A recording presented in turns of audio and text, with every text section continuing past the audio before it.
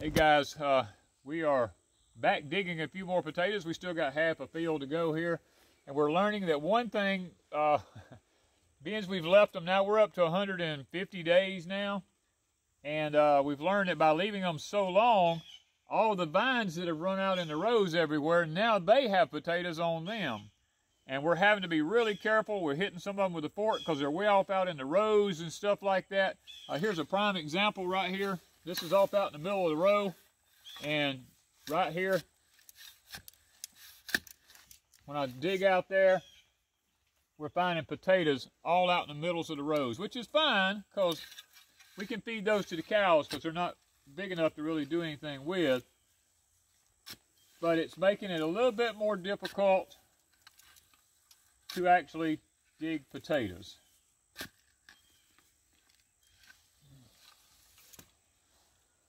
And the ground is kind of wet a little bit, so we're having a little bit of problem with that too. We're trying to get them out before they ruin. That's nice. Those are just nice potatoes, guys. One of the things about leaving them so long is that uh, weeds do take over, and that's something that we're having problems with. Now, we feed the grass to the cows, and a lot of people ask us, why don't y'all just go in and mow them off or, you know, and then put a plow in behind it?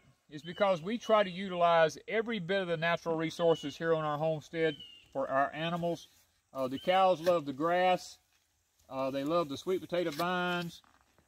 They love all these little potatoes like that. And if you're running a plow through here, you do a lot of damage to your potatoes. And we try to keep from doing as much damage as possible to the potatoes.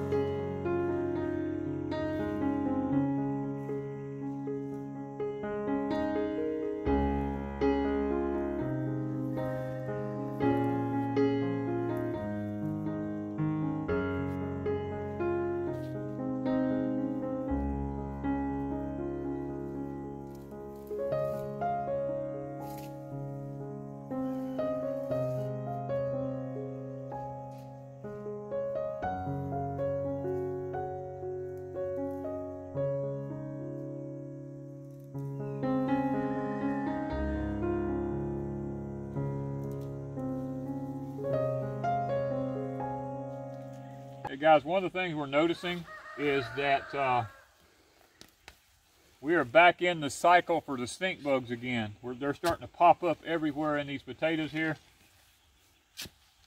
So we try to keep up with all that and keep records of it so that we know when the certain cycles for stink bugs are.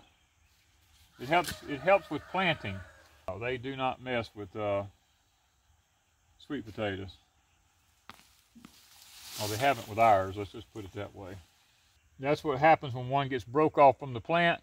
It begins to sprout on the end right here. And that potato will usually become a very woody tasting potato. So that one will go to the cows.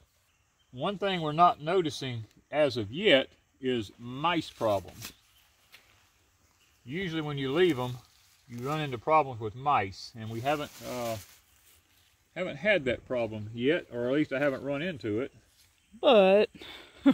but yeah, look up yonder. I mean, yeah, so that's possible still.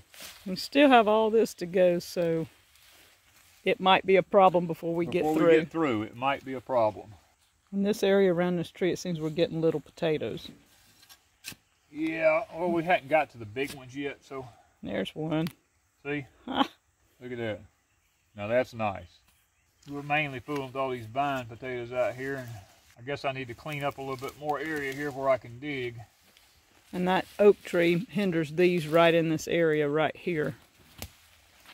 We may get a few big ones, but not as many in this general area right here where he's at right now. Well, these white ones, they'll run 30 feet, you know.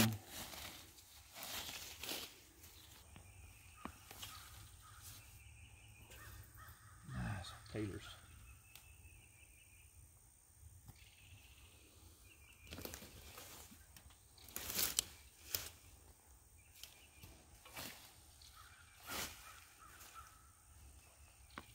Yeah. White ones will have a lot of potatoes per per plant. Whoa, look at that. Look at that. Look at that. This is all off of one plant. And I'm not through. The white's beating the red production wise. Reason my daddy time. said you always want potatoes, plant the whites. Production wise. Look at that. They still coming. wow. And I'm still not through.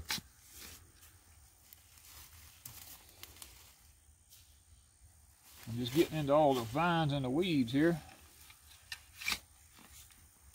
I still hear stuff cracking. Whoa. I mean, really. So far, this is just this one plant right here. And I'm, I'm not through. I just got to get up where I can get to stuff.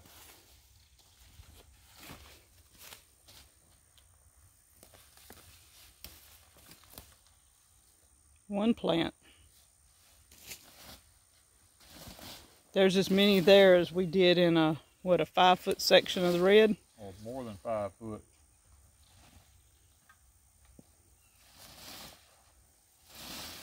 Look how long. Vines that go with it. Cherokee tan vines, huh? Yeah, I'm telling you. And the cows are going to be happy.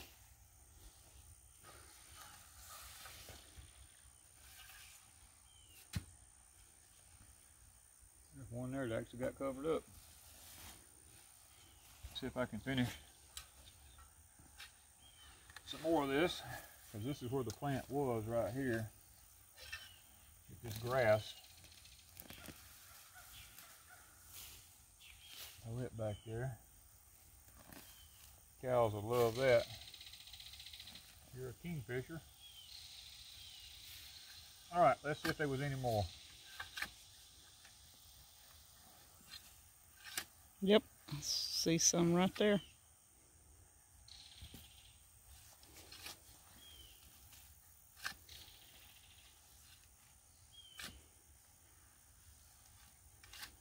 Little one. That little one here.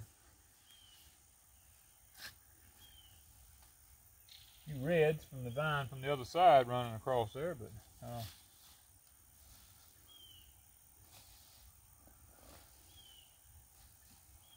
so that's it. Looks like for that one.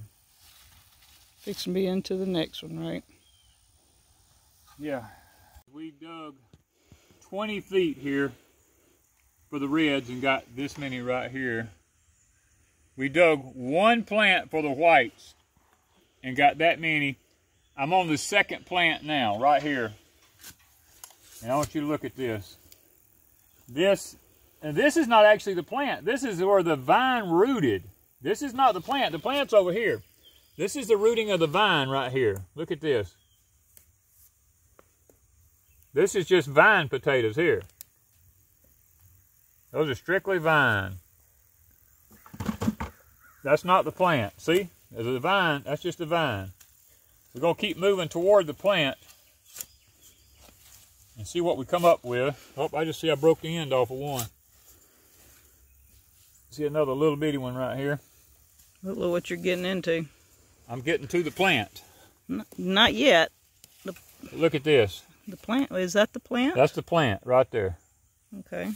This is just another plant. This, this is the second plant.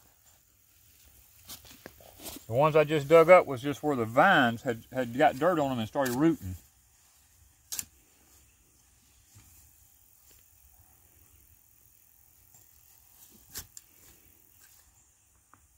Wow.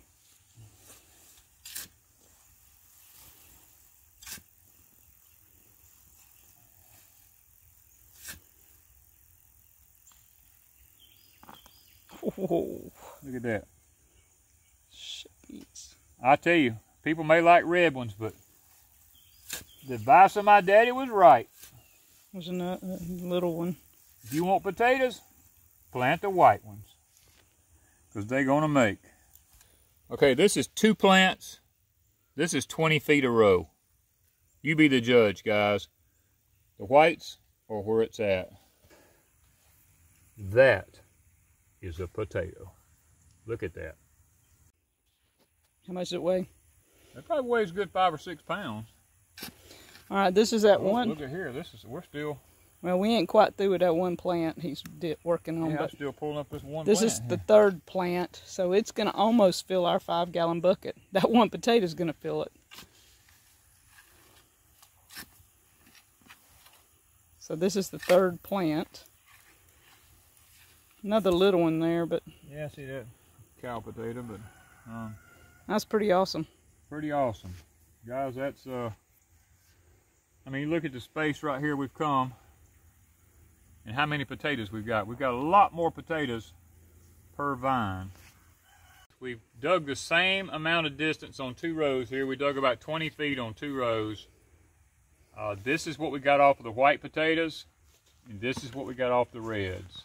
Um, one thing we did notice is where the grass was real heavy at, there were a lot fewer potatoes. Where the grass was not heavy at, I mean, we got that kind of stuff. You know, it's uh, it's amazing. So it goes to prove that the cleaner you can keep your garden, uh, the better results you will get. Uh, so, red potatoes versus white sweet potatoes. My daddy grew up during the Great Depression, and he told me, he said, son, you may not always get what you want, but it's about having something to eat. And he's the one who told me to stay with the whites. He says, if you want to make sure you always have some potatoes to eat, he said, plant you some white ones because they always make in abundance. And I am actually seeing the wisdom behind that now. So we will always be planting uh, plenty of whites here just because they're more sustainable. And I love the taste of the red ones. But Ms. Wanda fixes the white ones and she puts a little brown sugar on them. And to be honest with you, I can't really tell the difference. Uh, I mean, the color's different, but the taste, uh, we put a few pecans in with them, some brown sugar, and, and bake them that way. And guys, they're just as good as the other ones. Uh, the fact that people always eat red sweet potatoes is just one of the things that it's what people have always done. You know, you got to be able to step outside the comfort zone. Now, we have some purple ones planted. We'll probably be checking them out a little bit later. We grew them last year. Uh, they're like the whites. They're a little bit drier than the reds are. But guys, I'm sure, we haven't tested the purples, but I'm sure if we put the brown sugar and the pecans and all with them, they'll be just as good as the reds, you know. So we're going to be testing them a little bit later on, but this is the results of today here at Deep South Homestead. They're both in the same garden, side by side, same amount of fertilized to each one of them, same growing conditions, this versus this. You be the judge of which you would rather have in your garden for next year during the coming famines that we may face in this country. If you just have a very small space to plant and you're looking for a, a lot of potatoes, you know, the whites are probably going to outproduce the reds. The thing that Ms. Wanda has figured out is that you can use the white sweet potatoes in place of any white, like an like an Irish potato, like a red La Soda or a red Pontiac or something like that. Uh, the the German butterball. I mean, any of these uh, white potatoes, you can use these in place of them, like in casseroles and soups and stuff like that. And most people will never know the difference. So, to me, this is the most all-around versatile potato that you can grow for the homestead. Is the white sweet potato. Thank you guys from Deep South Homestead.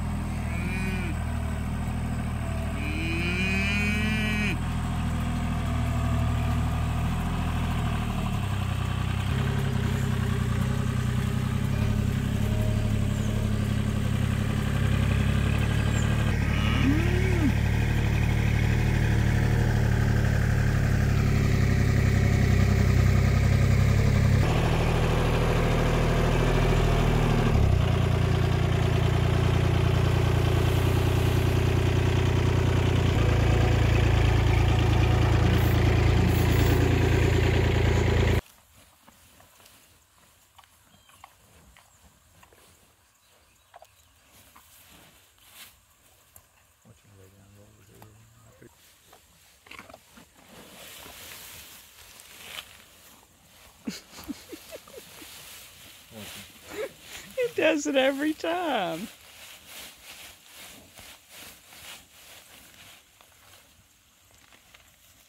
You got problems?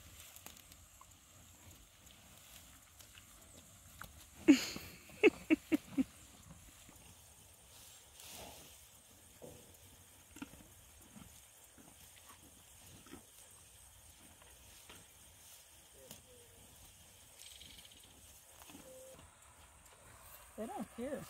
She just wants to be fed. All she wants to do is be loved on, She that's just wants all. to be loved on, don't you, Minnie Minnie? Huh? She's just a big old baby. Me and her every morning in the barn, I rub her and play with her and just, She's she just loves it. baby.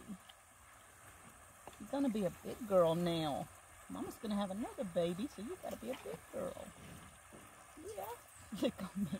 You know, lick your hand. She loves to lick you. Look, Candy. Look. Come on. Come on, Candy. Oh, you want loving too. I'm sorry. Did I not love on you? Huh? Did I not love on you? Yeah, I missed you, didn't I? Well, here. You don't want to eat. You want to be loved? Is that what it is, huh? You just want to be loved. You big cow. You're gonna be big enough to have us babies before long, aren't you? But you licking on me, huh? I know, y'all jealous. I'm surprised Dexter ain't over here. He just ain't seen. Gonna lick your legs. and Dolly's jealous now. See here? What look what's Oh, look at Dolly. Come here, Dolly. Dolly knows something's going on. Come on, Dolly. Hello, Dolly.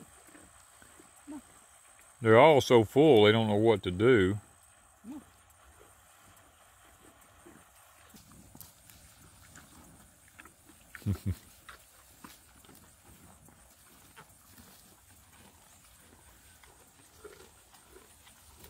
What have I got? Look at there. You done figured it out, hadn't you, girl? You gotta eat that one first. I put it crossways in your mouth. You having trouble?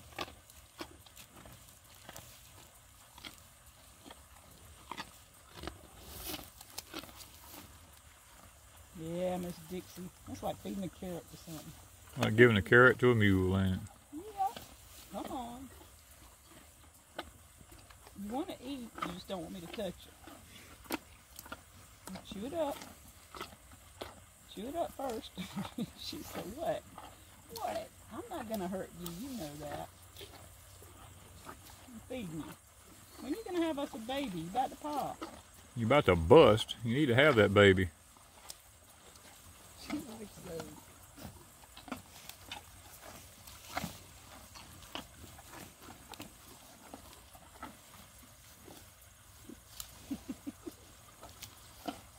okay, girl.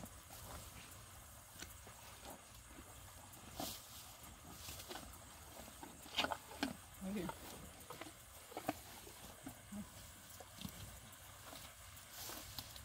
Old Mr. Dexter here, he's just having himself a ball. He's just eating away. All right, one more. One more. This is it. Good girl. You still don't want me touching you. You still don't want me touching you, do you? Come on. You like me to feed you. We're gonna get there, aren't we? Huh? We're gonna get there? Is that it? I don't have no more. I don't have any more. I don't have any more. Sorry. That's it. That's it. That ain't a sweet potato. He knows there's supposed to be food in them hands.